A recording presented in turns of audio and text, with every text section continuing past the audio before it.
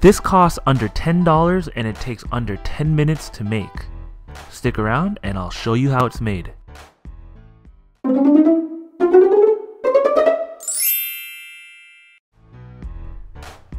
If you want to make this, you need to get bamboo skewers, twine, a screwdriver, popsicle sticks, a glue gun, scissors, and matchsticks.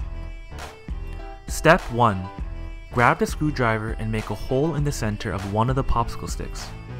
To do this, just place the popsicle sticks down on a flat surface and twist down on it with the screwdriver. Flip it over and start doing the same thing once you see a mark on the other side. After the hole gets to a size around this, put the screwdriver directly inside and keep twisting. You need to keep doing that until the matchsticks fit through it smoothly. Keep testing it out and do it until there's no resistance. Once you've done that, make a hole in another popsicle stick.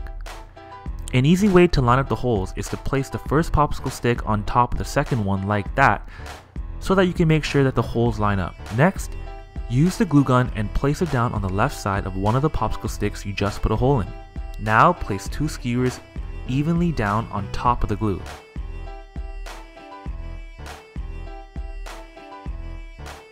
Go ahead and do the same thing to the right side. Just make sure that the skewers are placed down evenly.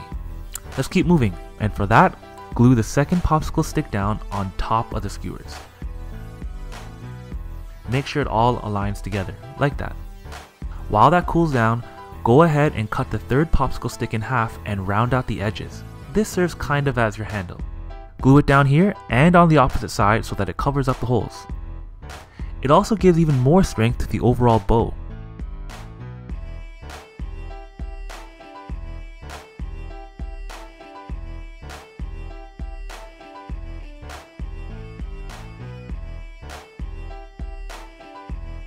We're basically at the last part now. Grab the twine and make a sturdy knot around one side of the skewers. Nothing fancy is required here, just make sure to go around each side and down the middle.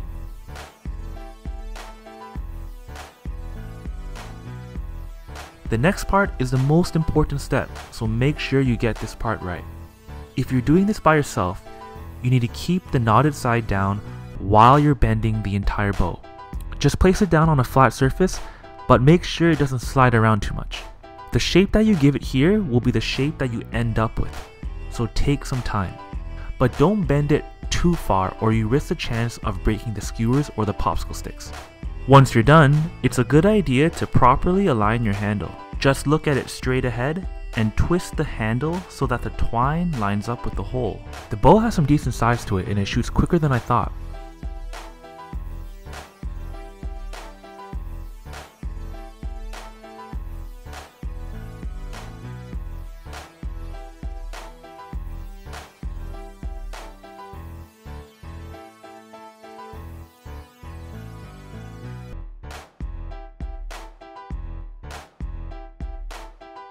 The skewers are perfect to shoot, but if you want to shoot fire, that's where the matchsticks come in. It's pretty straightforward. Just light it up and shoot it quickly. For a buck, you can get about 30 of them to shoot.